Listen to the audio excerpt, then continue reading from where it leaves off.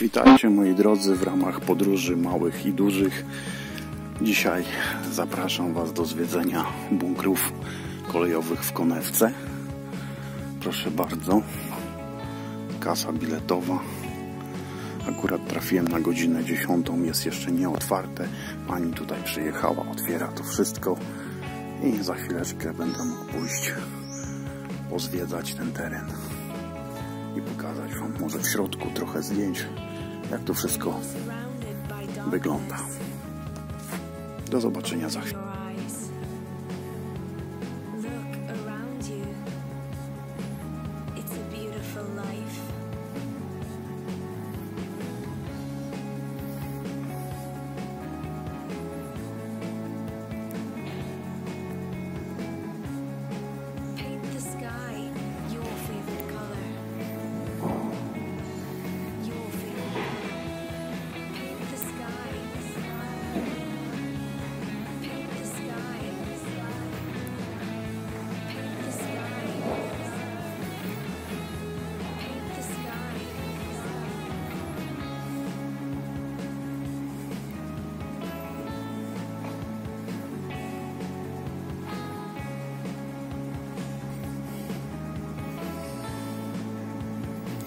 No jesteśmy moi drodzy w środku. W środku jest pełno gablot z ekspozycjami e, różnych rzeczy militarnych z czasów wojny. Gabloty z bronią, pistolet maszynowy Sten, M1 Colt. No i znana wszystkim z filmów Pepesza. Tak to wszystko tutaj ładnie wygląda.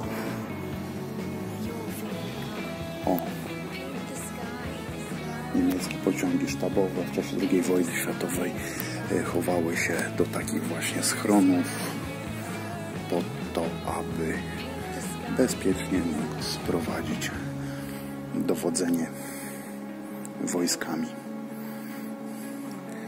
Tu widzimy makietę e, działa Leopold na pociągu.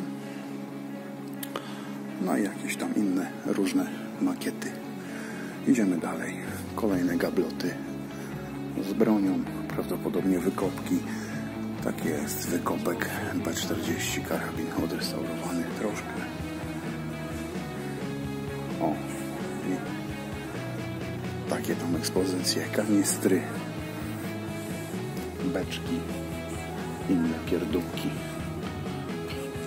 Tu mamy jakieś tam zejścia w bok.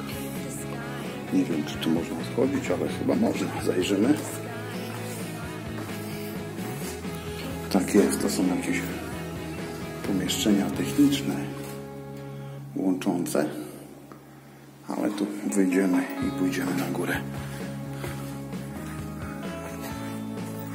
Przejdziemy później, pokażę Wam, co tam się dalej znajduje. Tu widzimy ekspozycję jakichś kół od różnych pojazdów. Uzbrojenie II wojny światowej, tablice poglądowe. Tu kolejne elementy uzbrojenia. Jakaś tam armata, zaraz doczytamy o co tutaj chodzi. Armata dywizyjna. Tak jest. Generalnie myślałem, że będzie tutaj troszeczkę ciekawiej. No nie jest za dużo tych eksponatów. Tunel jak tunel. Idzie się 380 metrów. Tam gdzieś podobno po prawej stronie jest zejście do jakichś tam e, przejść, które prowadzą do elektrowni. Lub po lewej stronie mamy wejścia do tunelu równoległego. Tam znajdowały się pomieszczenia dla obsługi. Zobaczymy, co tutaj. A, schrony w Łodzi, Julianowie. Tak jest, pokazane są schrony wybudowane w latach 39-45. Na tablicach poglądowych, głównie w Łodzi na Pabianickiej. No i lecimy dalej. Lecimy dalej. Na górze wentylację i tak to, tak to wszystko wygląda. Wyłączę się na chwileczkę, bo tak jak widzicie, pusto jest jak cholera. Dojdę gdzieś tam na tyły. Może będzie coś ciekawszego. A, może jeszcze skręcę na chwilkę tu na dół, bo tu widzę oświetlenie. O. Tak jest. Przejdziemy tędy, bo tu może być odrobinę ciekawiej. Jest cholernie mokro, ale za to widać jakieś tam miejscóweczki do mycia rąk. No i tak to wygląda. Idziemy dalej sobie. Wiecie co, wyjdę chyba do głównego korytarza, bo tu mokro jest. O. Tam jest wejście do schronu. Stamtąd przyszedłem. Zawijamy i idziemy dalej. A co tutaj jest? Zejście do podziemnych kanałów technicznych. Właśnie, niski strop. Zaraz sobie tam wejdę. Tylko dojdę do końca i zobaczymy, co tam ciekawego wypatrzę. O. Albo nie. Spróbuję sobie wejść od razu do tego kanału technicznego. Pokażę Wam, jak to tam wygląda. Pani powiedziała, że się pobrudzę. No ale nic to. Spróbujemy. Czego się nie robi dla Was. Opa. No. Cholernie wąsko jest.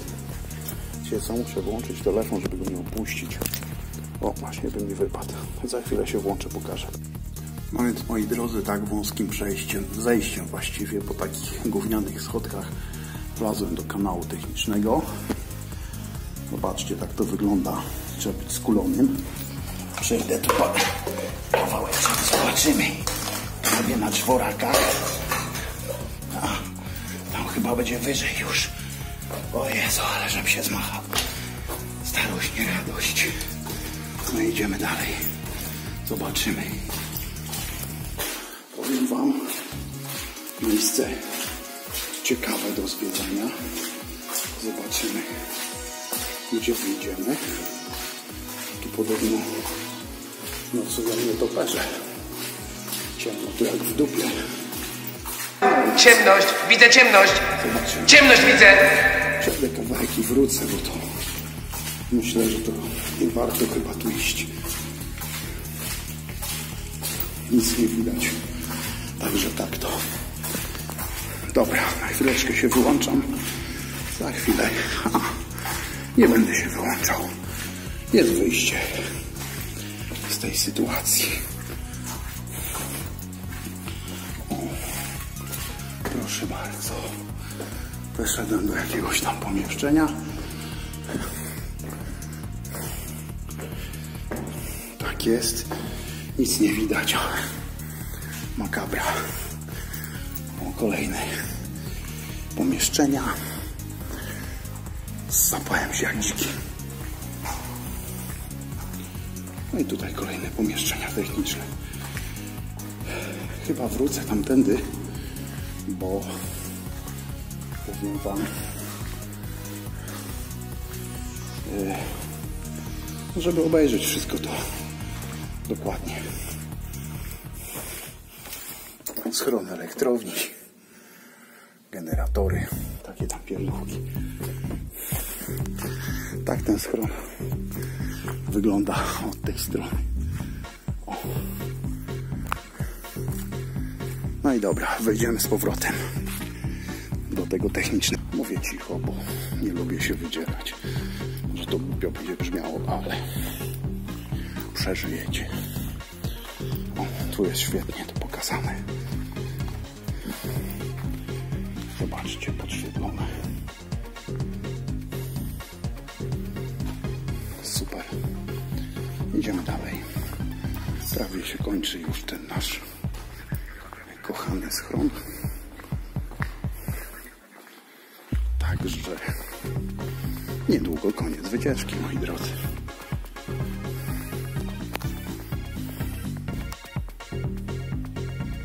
Dotarliśmy do końca schronu. Na końcu baner przedstawiający lokomotywę. Proszę bardzo. Jeszcze jakieś tam dalsze przejścia, wejścia. Też do pomieszczeń technicznych. A nie, niestety, tu się zakończyła wycieczka. No więc zobaczcie, jak tunel wygląda po całości. Możemy wracać.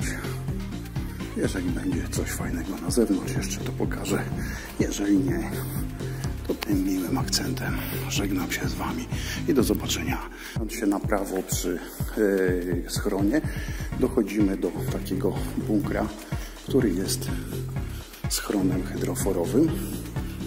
Tak to tutaj wygląda wszystko. I zobaczymy, co tutaj mamy.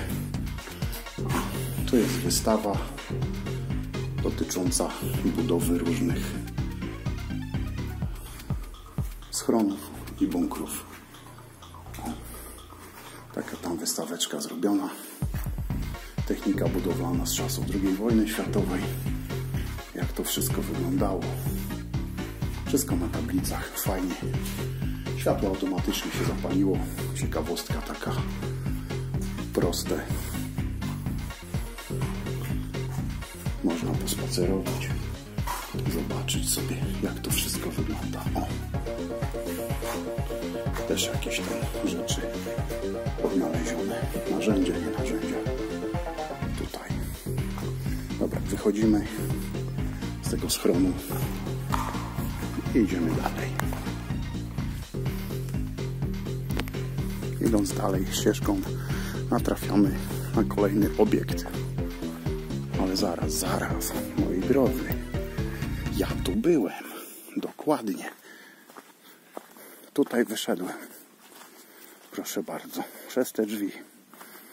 Czyli chwila, moment. Tu wyszedłem. A schron jest tam.